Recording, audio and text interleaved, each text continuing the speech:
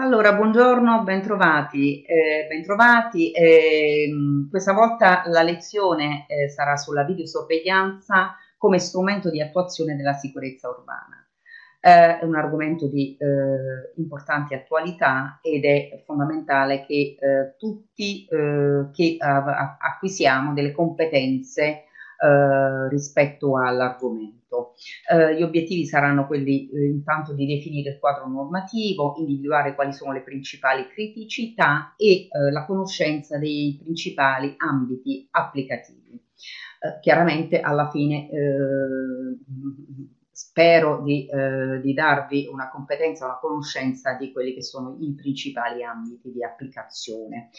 Eh, come si struttura la lezione? La lezione si struttura eh, intanto eh, nella definizione nel regime giuridico della videosorveglianza. Eh, vedremo quali sono i principi che sono eh, alla base di questo eh, sistema, le misure di sicurezza, il trattamento dei dati e l'autorità garante per la privacy, le regole per la tutela della sicurezza urbana, le linee generali per la politica della sicurezza integrata e eh, normative, la normativa e l'ambito di applicazione rispetto ai patti e rispetto alla sicurezza eh, urbana ed integrata.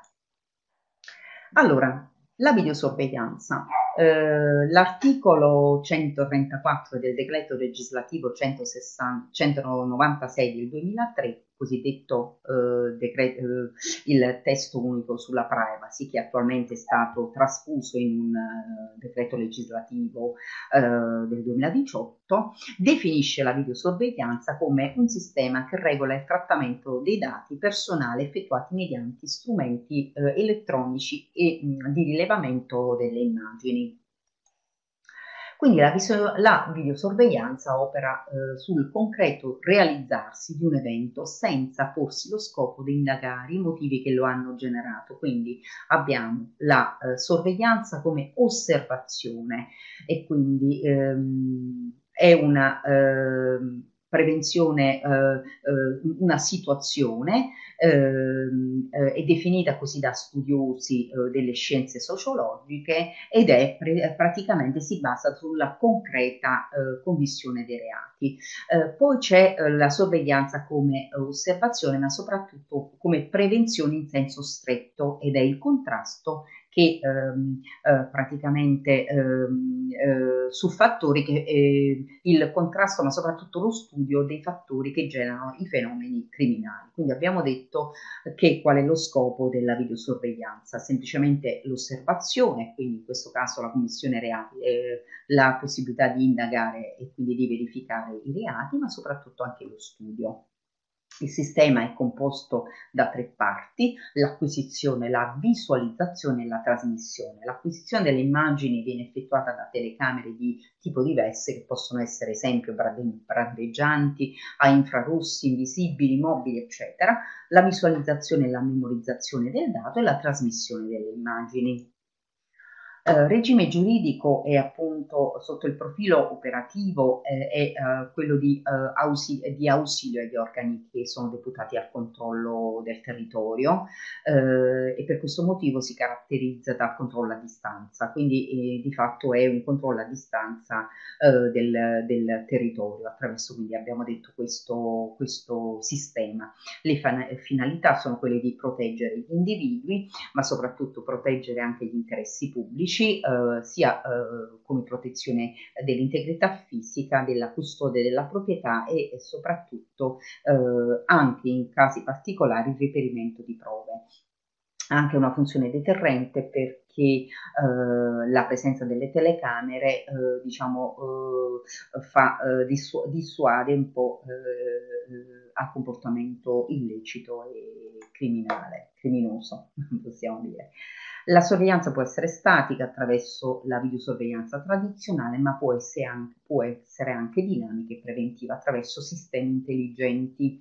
Uh, la Cassazione, io vi, vi ho, fatto, vi ho, fatto, ho inserito questa sentenza, ha stabilito che l'installazione di impianti audiovisivi nei luoghi di lavoro non necessita di alcuna audiovisivi autorizzazione e le relative eh, riprese sono perfettamente utilizzate nel processo. Qua però parliamo di procedimenti penali. Non ci dimentichiamo una cosa fondamentale che l'ultima nota del garante della privacy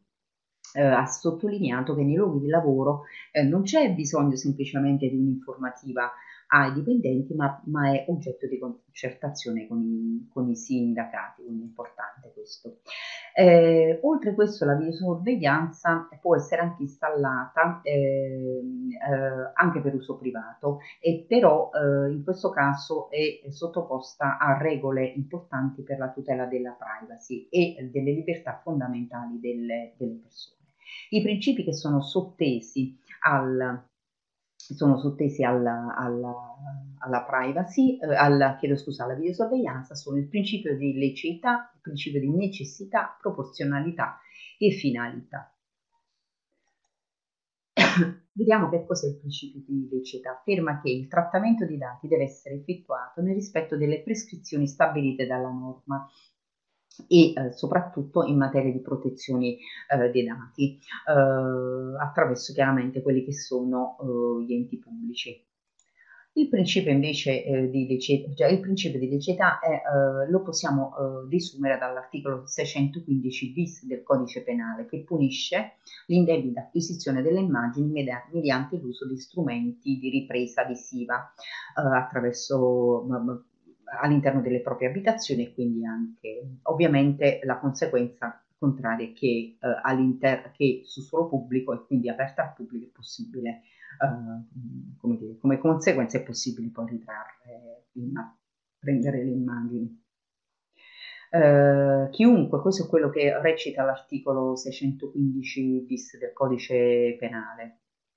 chiunque mediante l'uso di strumenti di ripresa visiva, leggete bene, eh, si procura indebitamente notizie o immagini attinenti alla vita privata svolgendosi in luoghi indicati di quell'articolo, quindi un luogo pubblico e, pre- e, insomma, e poi tutto quanto è stabilito anche come sanzione. Il principio di necessità invece afferma che il trattamento dei dati non deve mai superare il limite necessario per il raggiungimento dello scopo che viene prefisso, quindi lo scopo deve essere indicato in precedenza. Il principio di proporzionalità afferma che la videosorveglianza deve costituire estrema razio, la videosorveglianza quindi deve essere proporzionata, eh, non potranno quindi essere utilizzati sistemi di videosorveglianza se l'obiettivo può essere raggiunto con una modalità diversa. Il principio di finalità afferma che lo scopo del trattamento deve essere determinato, esplicitato e legittimo.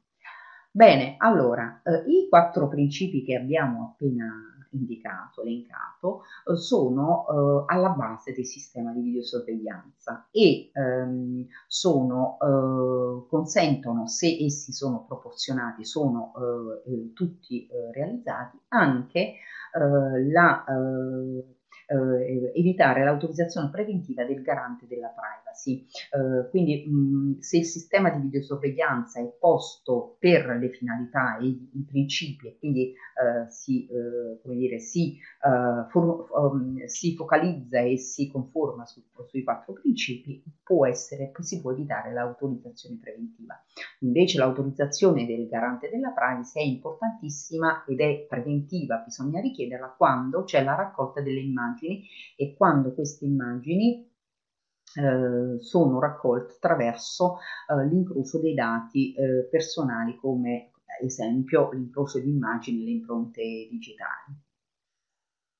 La videosorveglianza, quindi abbiamo detto, è un supporto efficace per, le polizie, per le forze di polizia ha, e ha un, come dire, un carattere eh, sia di tipo amministrativo che però anche di tipo eh, penale, che vedremo anche successivamente. Quali sono le misure minime? Eh, I dati raccolti devono essere protetti con idonee e preventive misure di sicurezza. Bisogna ridurre al minimo il rischio di distruzione, perdita accidentale. Eh, ehm, non bisogna accedere in modo, mh, bisogna per accedere al sistema, bisogna essere autorizzati e eh, tutto il trattamento bisogna, tutto il trattamento del dato bisogna eh, che sia conforme alle finalità di raccolta. Queste sono le misure minime e secondo queste misure minime ehm, eh, il garante stabilisce, mh, dà delle indicazioni generali di base e dice in presenza di eh, effettive competenze specifiche attribuite ai singoli operatori devono essere configurati diversi livelli di visibilità delle immagini. Quindi praticamente il garante ci dice che eh, ogni soggetto intanto deve essere autorizzato, deve essere designato al trattamento dei dati e eh, ognuno deve, deve avere una credenziale, delle credenzialità per essere autentificato. È chiaro che l'autenticazione eh, comporta anche delle responsabilità, quindi si può desumere chi fosse in quel caso a manipolare e a verificare le indagini. Ancora il garante ci dice che eh, la registrazione e la conservazione delle immagini Devono, eh, devono, essere limitate, eh, i soggetti abilitati alla, alla visione devono eh, chiaramente essere eh, ben identificati, l'abbiamo detto prima, ma soprattutto eh, le immagini che non sono necessarie devono essere cancellate. Il periodo di conservazione quindi chiaramente eh, eh, forma un, un, un, termine, un lasso di tempo eh, determinato e quindi le immagini poi a un certo punto vengono cancellate o sovra, sovrascritte. Uh, abbiamo detto che anche per accedere ai locali dove si trovano le postazioni di controllo è necessario l'autenticazione e quindi è fondamentale anche uh, uh, fare delle, delle cautele, utilizzare delle cautele proprio per il, per garantire il massimo della privacy per quanto riguarda le, la, le immagini eh, il divieto di accesso alle persone è, è questo, eh, quindi sia il divieto di accesso per le persone non autorizzate, la cancellazione dei dati alla scadenza, ma anche altri dati eh, non che non sono interessati devono necessariamente essere ehm, cancellati e non devono essere messi a disposizione di, di chi che sia. Uh, vediamo chi è il garante per la protezione dei dati personali. È un'autorità indipendente, un organo collegiale composto da quattro persone, due componenti sono eletti dal Senato eh, e due dalla Camera dei, dei, Deputati. I membri sono scelti tra persone che assicurano l'indipendenza, sono esperti eh, anche di informatica, eh, sono qualificati. I quattro componenti eh, a loro volta eleggono al loro interno il presidente e il vicepresidente. Quindi abbiamo visto chi è questo garante eh, per la privacy. L'autorità garante per la privacy che cosa fa? Eh, eh, redige pareri, controlla la conformità del trattamento dei dati, segnala al responsabile del trattamento le modifiche da, eh, da, eh, da, da, mettere in atto, decide sui ricorsi eventualmente, vi garantisco che le sanzioni per la violazione della privacy che vengono emesse a carico degli enti sono molto molto salate.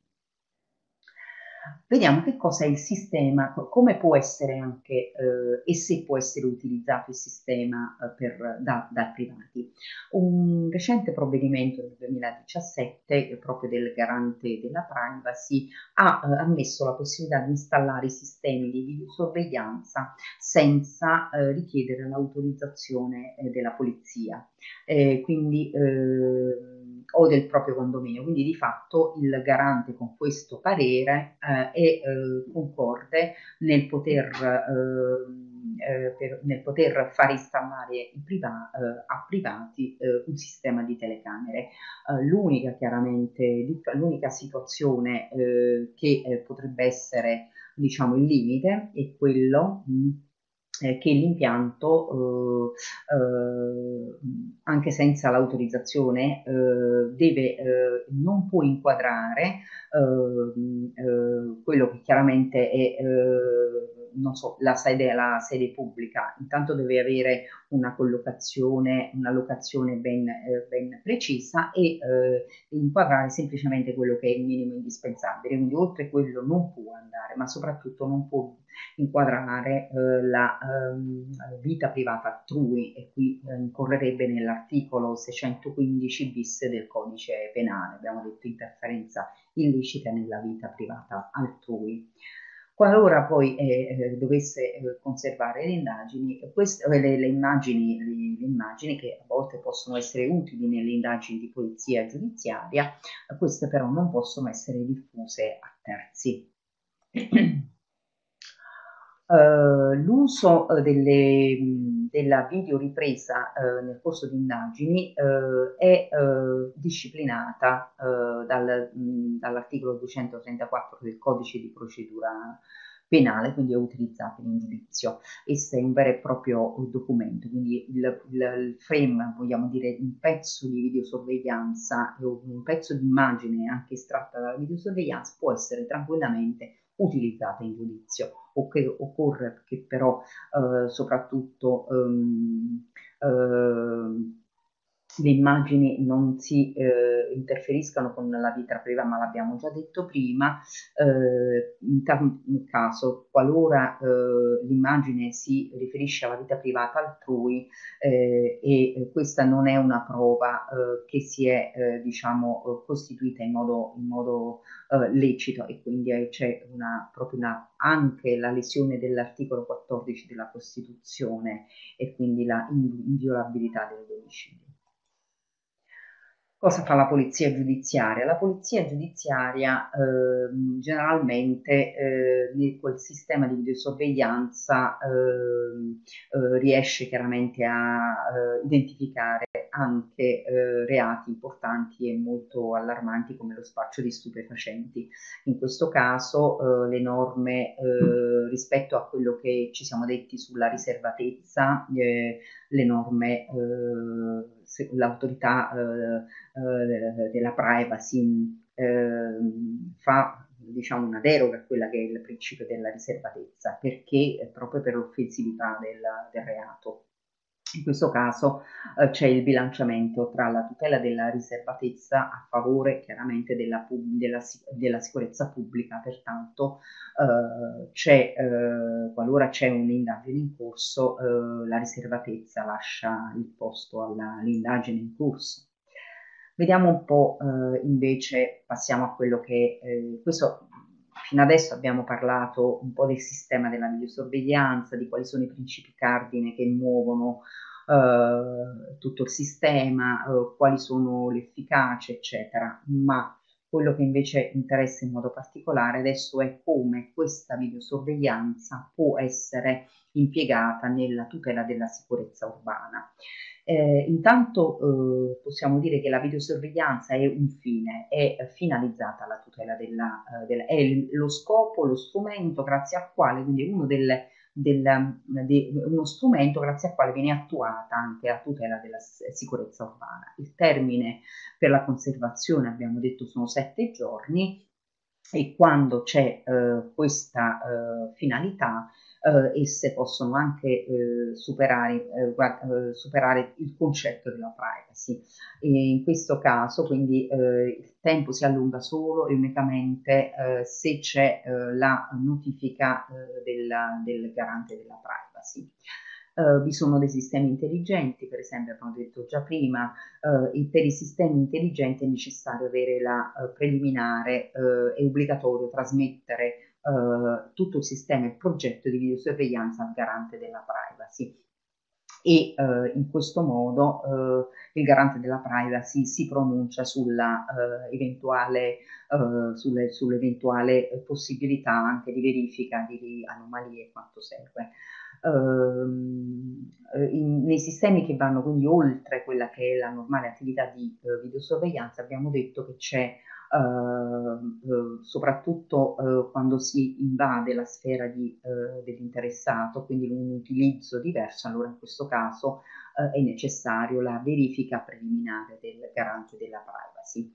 Uh, quando si, uh, si, installa un sistema di un impianto di videosorveglianza uh, e quindi soprattutto per il fine, abbiamo detto, della sicurezza urbana, non è necessario ottenere il consenso dai soggetti che vengono ripresi, soprattutto perché il sistema è a garanzia dell'interesse pubblico. Occorre però preventivamente mettere un cartello informativo che è, si chiama proprio la cartellonistica informativa che eh, eh, indica eh, la zona controllata dalle telecamere e questo eh, soddisfa quello che è il consenso preventivo dei, so dei soggetti ripresi. Eh, le immagini quindi sono chiaramente eh, tratti, sì, sono trattate dall'autorità di polizia, è bene che nel cartello indicativo è indicato e soprattutto deve essere indicato il responsabile del trattamento dei dati e quindi eh, bisogna informare i cittadini di questa, di questa diciamo, evenienza. Uh, il diritto all'immagine, eh, protezione del diritto d'autore, del, dei, dei diritti uh, concessi al, e, e, di, e, di, quello che è eh, concesso al proprio eh, esercizio e da qui si evince che la riproduzione, l'uso delle immagini eh, è lecita solamente se c'è il consenso, però abbiamo detto che eh, l'acquisizione se viene effettuata in un luogo pubblico o aperta al pubblico passaggio abbiamo soddisfatto quella che è l'esigenza della informativa e quindi della tutela del diritto alle immagini. Uh, il decreto sicurezza, uh, l'articolo 6, comma 7 e 8 del, del, decreto sicurezza che è, approvato, è stato approvato in primis uh, um, nel, nel, nel, 2009, quindi uno dei più, più, più uno dei primi decreti di sicurezza, ha ehm, praticamente ha eh, denominato, ha eh, fatto in modo che eh, approvassero un piano straordinario per il controllo sul territorio e ha, eh, da lì poi sono, eh, e, sono eh, ammesse, quindi sono state finanziate attività proprio della videosorveglianza. Questo piano straordinario consentiva ai comuni di fare uso dei sistemi di videosorveglianza al fine di prevenire i reati del controllo e eh, grazie a questo anche di controllare il territorio. La finalità, tra le finalità più importanti chiaramente, erano quelle di competenza eh, direttamente della, della, dell'ordine pubblico e quindi eh, quelli che non riuscivano proprio, eh, eh poiché ehm, possiamo dire che i, i, mezzi e le risorse dei, delle, delle polizie eh, locali e statali erano tali, eh, quindi esigue, allora fu varato questo piano straordinario di controllo. Eh, anche per i comuni quindi è stato possibile adottare il sistema di videosorveglianza e lo scopo era proprio, è stato proprio quello alla base di tutto del, della sorveglianza e del controllo del territorio. Eh, ma in questo caso eh, anche la videosorveglianza cittadina eh, può essere, avere uno scopo proprio eh, della tutela del territorio, tutela ambientale e quindi ammesso, sono ammissibili anche le violazioni in materia di rifiuti. L'accertamento del codice della strada, altro problema importante eh, si poneva rispetto alla videosorveglianza, vi faccio l'esempio uno per tutti le ZTL. Eh, le telecamere installate per l'accertamento delle violazioni devono però rispettare eh, la tutela dei dati personali, ancora di più, quindi tutti i cartelli informativi che vengono messi nei varchi delle ZTL, per farvi l'esempio, devono essere completi e um, il, una circolare del Ministero degli Interni eh, del 2006 prevede proprio che questi, uh, uh, questi sistemi uh, sono sistemi intelligenti che immagazzinano le immagini solo però nel caso delle infrazioni al codice della strada, quindi tutte le, le targhe che, che passano per le, per le, zone ZTL che siano chiaramente autorizzate non possono essere memorizzate. Le immagini sono chiaramente utilizzate ai fini dell'accertamento del codice della strada, eh, al termine chiaramente del, del procedimento eh, di, eh, si ha la contestazione. Le immagini eh, dopo che si è eh, svolto tutto quello che è il procedimento e col provvedimento sanzionatorio, le immagini devono essere cancellate, anche in questo caso c'è la tutela della privacy. Eh, esse quindi per motivi di privacy non possono tra l'altro essere inviate al domicilio dell'intestatario del veicolo insieme al verbale, ma gli interessati devono avere la possibilità di accedere e quindi di um, veri- uh, visionare eh, la propria immagine, quindi con sistemi chiaramente che siano sistemi eh, forniti direttamente dalla, dalla polizia, eh, dal, dal, comando di polizia locale, quindi con una password si accede nel sistema e si può verificare tranquillamente la, si può verificare tranquillamente eh, l'immagine. Va precisato però che la registrazione continua del, e quindi monitoraggio del traffico traffico eh, va conservato in forma di dati anonimi, quindi eh, parlavamo di uno eh, degli scopi della videosorveglianza, cioè lo scopo eh, della, dello studio dei flussi di traffico. Quindi quando, esempio, ci sono delle telecamere sull'autostrada, eh, esse sono apposte per, eh, ai fini di studi e di ricerche sul traffico, queste, queste eh, deve conservare queste telecamere, queste immagini vanno conservate ma in maniera anonima. Uh, ancora, i, i comuni, uh, qualora abbiamo già detto prima, qualora uh, vengono installate dei sistemi di videosorveglianza sulla base della, del controllo per finalità di sicurezza urbana, allora in questo caso eh, bisogna non fare riferimento alla eh, direttiva, eh, al codice europeo della privacy, eh, con la direttiva, eh, diciamo, entrato in Italia con il regolamento europeo nel 2016, ma alla direttiva della, della polizia, del capo della polizia. E in questo caso eh, si chiarisce anche che eh, coloro i quali, eh, privati, cioè coloro i quali hanno un sistema di, eh, di videosorveglianza all'interno dei quali eh, sorvegliano i propri, i propri, condomini, i propri luoghi, eh, è necessario, come abbiamo detto prima, sicuramente è eh, possibile secondo il parere del garante della privacy, ma è necessario che questi vadano ad ehm, essere autorizzati, in questo caso con una, non autorizzati, ma mh, bisogna avere eh, sottoscritto un accordo con, con eh, l'amministrazione la, comunale e eh, con questo accordo si disciplina anche l'utilizzo. La direttiva della, sulla privacy in questo caso eh, che cosa fa? Eh, stabilisce il trattamento dei dati eh, e stabilisce che tale trattamento è eh, un trattamento che ha come fini la prevenzione, l'investigazione e la repressione dei reati, proprio il, la, la, la, norma sulla, sul, sulla privacy. Eh, tale direttiva è stata recepita eh, in, in, Italia eh, ed è stata recepita eh, il, nel 2018. Eh, qui abbiamo chiaramente eh, un regolamento che um, è stato um, varato in Italia con decreto legislativo 18 maggio il numero 51.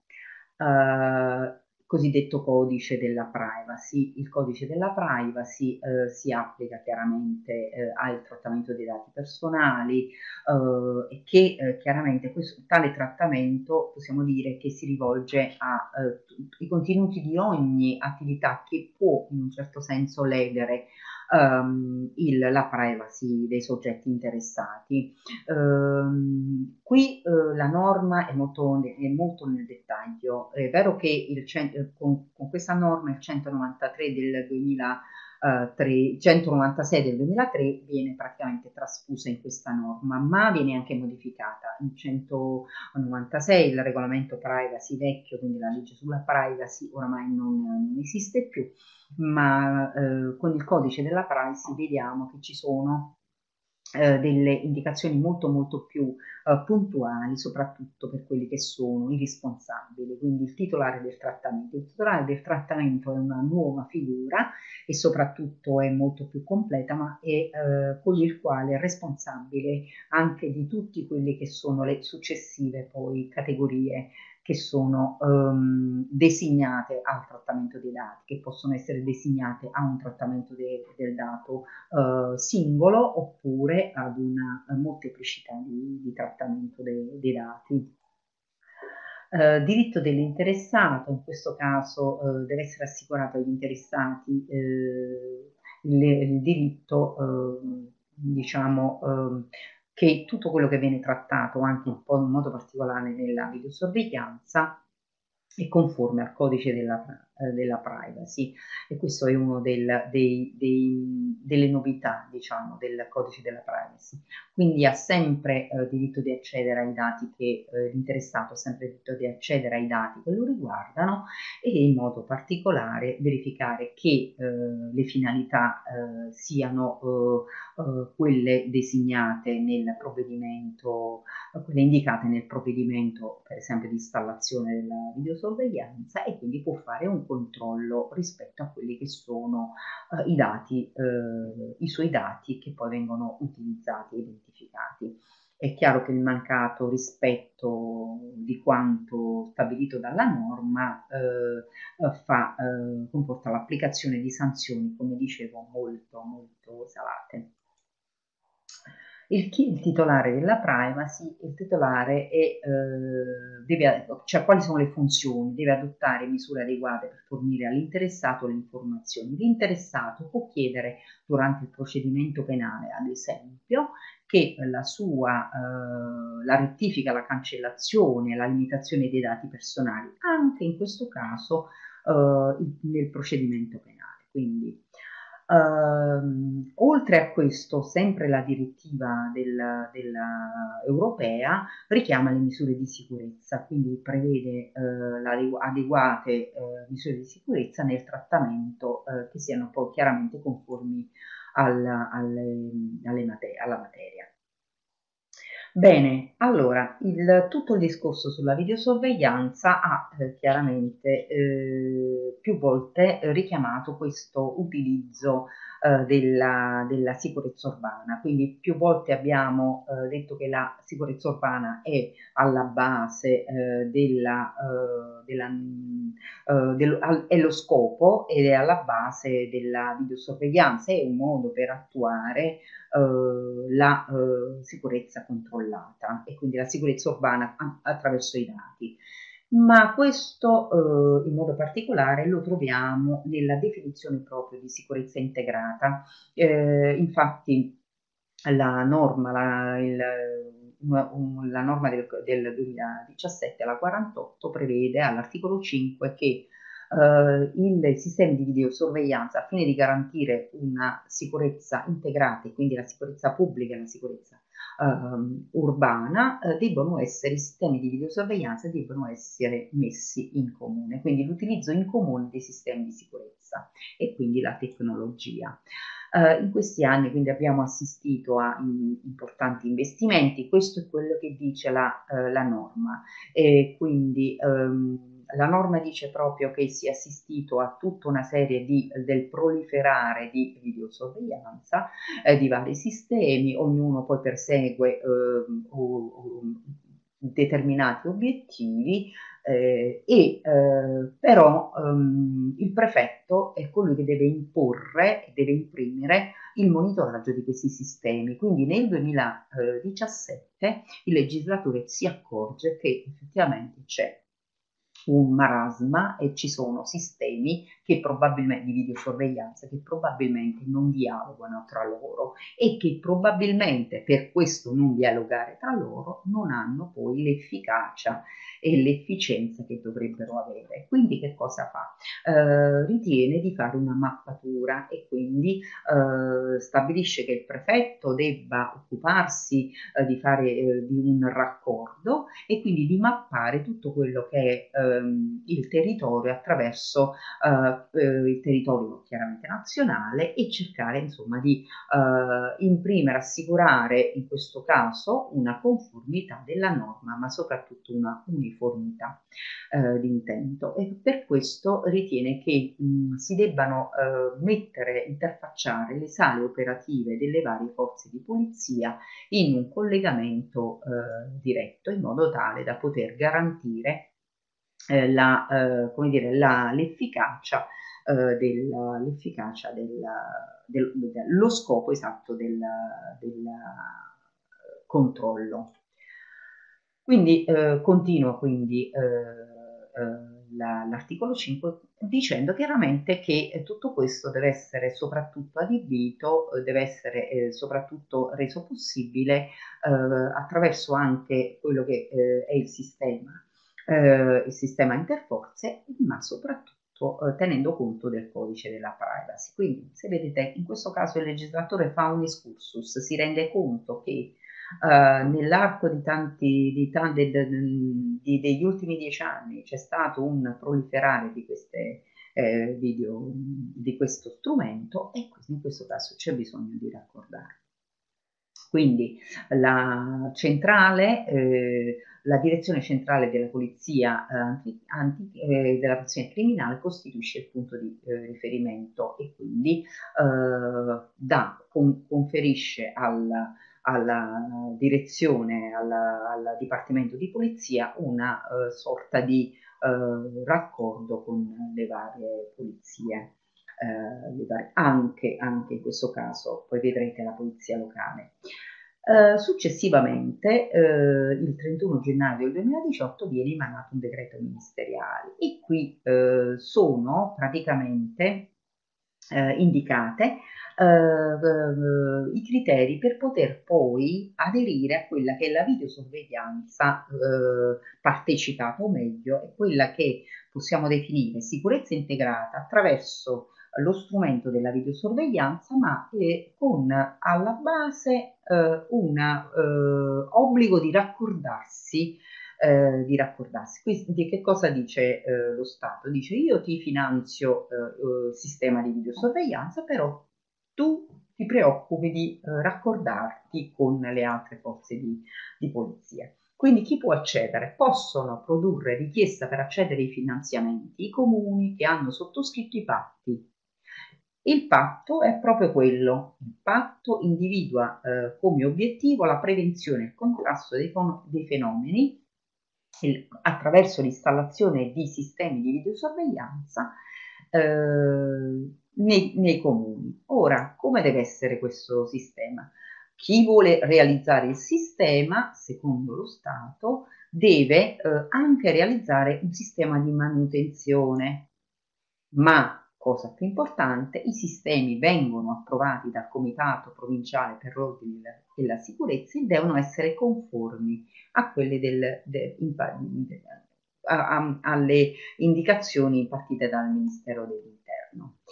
Dopodiché, quello che è fondamentale è che nei patti per la sicurezza urbana eh, è stabilito che tali telecamere devono essere interconnesse, quindi a, eh, lo Stato finanzia, ma le centrali operative devono, essere, devono parlarsi. Questo chiaramente è eh, uno eh, eh, degli scopi di questa sicurezza integrata, eh, giust, giustamente. Uh, come vengono valutate le richieste per avere il finanziamento? L'indice di criminalità, uh, la delittuosità del, del, del, della provincia e quella del comune e poi i fenomeni più diffusi e il numero della popolazione residente. Uh, dopodiché vengono predisposti, abbiamo detto, dei, dei, protocolli eh, per l'attuazione e eh, leggete qui, si precisa fin d'ora che in ragione della condivisione eh, bisogna acquisire il nulla osta, ma soprattutto la, eh, la eh, ammissibilità ai, finan- ai finanziamenti eh, è eh, preventivamente fatta solamente se c'è il nulla osta e c'è quindi l'approvazione del sistema di videosorveglianza al Comitato Provinciale per l'Ordine e Sicurezza della Pubblica. Quindi il contratto tipo è quello che le prefetture mandano a prima, chiaramente i progetti vengono elaborati in, eh, sulla disposizione del garante, ma poi sono chiaramente eh, precostituite dal, dal prefetto. Viene istituita una cabina di regia eh, la cabina di regia è composta da rappresentanti delle forze di polizia e delle forze di polizia locali, necessariamente perché abbiamo detto che abbiamo la centrale interconnessa e quindi eh, tutto questo eh, con la supervisione del Dipartimento della Funzione Pubblica che abbiamo detto è il punto nodale, è il punto di coordinamento di tutte le attività. Che cos'è il Comitato Provinciale per l'Ordine e la Sicurezza? Bene che eh, ce, lo, ce, lo, ricordiamo, è stato istituito eh, dall'articolo 20 della legge 121 del 1981, rappresenta lo strumento organizzativo di coordinamento e di decisione che può contemperare esigenze eh, di gestione unitaria della politica di sicurezza ed è presieduto dal prefetto. Vi partecipano i sindaci del territorio. Questo è il comitato. Ora, eh, andiamo in particolare ai eh, patti della videosorveglianza. Eh, nel 2018 il decreto legge che poi viene convertito in legge 132, sempre del 2018, eh, aumenta la possibilità eh, di finanziamenti per quanto riguarda eh, i patti per la videosorveglianza e stabilisce che eh, allora, intanto il decreto così si intitola eh, Disposizioni urgenti in materia di protezione internazionale, immigrazione e sicurezza pubblica, che ad oggi è ancora è ancora legge. Uh, l'articolo 35 quinques uh, stabilisce, uh, praticamente mh, definisce proprio la potenza, definisce, incrementa i sistemi, quindi ancora di più incrementa il sistema di videosorveglianza. Quindi stabilisce che al fine di potenziare gli interventi in materia di sicurezza urbana per la realizzazione degli obiettivi di cui all'articolo 5, eccetera, che abbiamo detto, la norma precedente l'abbiamo letta nel suo dettaglio, ehm, stabilisce quindi, abbiamo detto, è incrementata, quindi la somma per poter effettuare eh, richieste, quindi finanziamenti di videosorveglianza da parte dei comuni è incrementata ancora di più e sarà incrementata quindi nei vari, nei vari anni a seguire per il triennio. Um, la norma, abbiamo detto, i patti per l'attuazione in coerenza, questo dice proprio il patto per, per l'attuazione, in coerenza con le linee generali eh, e quindi in questo caso la conferenza città, eh, Stato, città e autonomie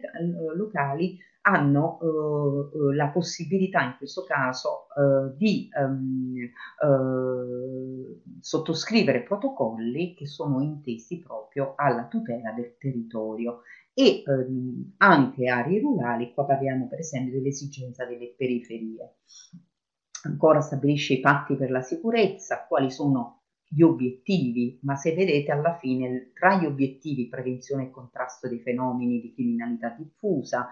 e abbiamo già sentito dire eh, in precedenza che lo scopo della sicurezza urbana ma anche della connessione con la sicurezza eh, pubblica ma in tutto questo eh, anche attraverso accordi di rete di volontari per la tutela della salvaguardia dell'arredo urbano, i cosiddetti controlli di vicinato, e infine eh, attraverso eh, l'uso, l'utilizzo di eh, controllo attraverso esigenze eh, diciamo di controllo l- con l'installazione di sistemi di videosorveglianza. Quindi lo ripete e ritiene che sia importante. Bene, allora io ho finito, ma eh, vi farei fare una breve riflessione eh, su eh, quelli che sono chiaramente eh, i momenti eh, più eh, salienti rispetto a quello che ci siamo detti. Um, la videosorveglianza può essere sicuramente uno strumento, uno strumento fondamentale per poter controllare il territorio ma il, come ogni cosa eh, si è eh, chiaramente non, in una condizione di non eccedere, quindi eh, lo strumento, le grandi ehm, realtà urbane eh, dove necessariamente c'è eh, bisogno di avere un controllo capillare di tutte le attività eh, della, della, della, città, in queste grandi, in queste grandi eh, grandi, eh, grandi aree abbiamo la possibilità di avere delle centrali operative organizzate in modo tale da poter garantire un servizio eh, diciamo presente in tutto l'arco, l'arco, della giornata abbiamo la possibilità di garantire il controllo eh, de, della, dell'area, di tutta l'area che è chiaramente una città eh, grande. Quando parliamo invece dei piccoli agglomerati urbani o comunque delle piccole città, il sistema di videosorveglianza può eh, in un certo senso essere efficace ma eh, ha una efficacia limitata, limitata dal fatto che nella, nelle piccole comunità eh, si, ci, bene o male eh, si conoscono tutti, la videosorveglianza eh, per le, eh, gli scopi predatori, eh, abbiamo detto per gli scopi di, di crimini predatori, eh, sicuramente mette, pone nella condizione la cittadinanza, seppur la piccola comunità, a una condizione di sicurezza. Eh, chiaramente eh, gli amministratori di queste piccole comunità auspicano che eh, la videosorveglianza possa, tra virgolette, essere la panacea eh, di tutti i mali, eh, ma succede poi in converso che questi sistemi, ripeto, nelle piccole realtà, sono eh, non utilizzati appieno. Per la carenza delle risorse sicuramente ehm, umane cioè le risorse che possono essere impiegate per la, visione, la visione delle telecamere, perché un sistema di telecamere che funziona bene è quello integrato, è quello che Uh, pone nella, nell'evidenza uh, la, uh, il ruolo delle polizie in generale, quindi statali e locali, nel trattare, quindi chiaramente insieme, un sistema che può essere strutturato e che può essere strumento efficace. Ora, la videosorveglianza, come stabilito dalla norma, e cioè implementazione di tut- nell'implementazione, la norma auspica che ci sia un controllo capillare di tutte le aree urbani, periurbani, eh, periferiche, eh, nella misura in cui ehm, si hanno dei finanziamenti. Ebbene, quando c'è la possibilità per i comuni di poter dotare Uh, comuni grandi che hanno delle effettive uh, esigenze di poter dotare di un sistema uh, di videosorveglianza integrato nel quale le varie polizie possono interfacciarsi ma soprattutto possono rendere la, eh, come dire, la sicurezza, una sicurezza eh, partecipata e integrata, allora in questo caso il sistema, mi sento di dire che il sistema di videosorveglianza eh, come sistema anche intelligente è chiaramente utilissimo, utilissimo, c'è un interscambio di eh, informazioni, eh, c'è eh, la consapevolezza che mh, il cittadino eh, percepisce la sicurezza come qualche, eh, qualche come ehm, eh, innalzato il livello di, eh, di eh, controlli e quindi la percezione della sicurezza è sicuramente una percezione eh, positiva. Diversamente nelle aree eh, più, eh, più, piccole, eh, in comuni piccolini dove la videosorveglianza eh, non può essere eh, messa in, in, una connessione con le altre forze dell'ordine, quindi non è possibile partecipare eh, alla eh, sicurezza integrata, in questo caso posso dire che eh, probabilmente viene vista come un deterrente, ma un deterrente che ha eh, una, ehm, come dire, una eh, efficacia molto limitata, molto limitata nel tempo. Uh, dopodiché possiamo anche pensare al fatto che uh, in alcuni casi, proprio perché non c'è uh, quello che eh, è questo sistema di interconnessioni, eh, in alcuni casi si può eh, pensare proprio che eh, la, eh, il sacrificio della riservatezza dal punto di vista del, del mm, come dire, della riservatezza della, a, a, favore, quindi la, la riservatezza del dato eh, personale a favore della videosorveglianza, eh, diciamo che non è compensato dall'efficacia del sistema di videosorveglianza. Ora, eh, nelle città dove eh, è possibile avere un controllo, eh, bisogna necessariamente che il controllo poi segua una forma di tutela anche del del cittadino come il controllo dov- dovrebbe seguire con una esemplare eh, poi sanzione o comunque con, eh, attraverso eh, un sistema eh, di correttezze di identificazione di quelli che sono il, i, maggiori, i, maggiori, compiti, diciamo, i, i maggiori comportamenti non, non conformi. Eh, bene, allora, io... Eh, perfetto. Allora, io con questo ho finito, eh, spero di aver eh, reso l'argomento di vostro gradimento, piacevole, eh, insomma è un argomento sicuramente di interesse, un argomento che eh, la videosorveglianza eh, pone tanti dubbi, pone tante domande, ma che al momento eh, del, di poter procedere a quello che sono i controlli è, è essenziale che sia, eh, che sia come dire, eh, adottata.